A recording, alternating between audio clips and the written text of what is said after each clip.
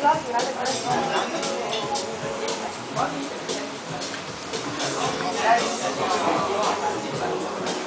people, Sandy and I are at the Kontiki Bar, downtown Nuremberg. Check it out.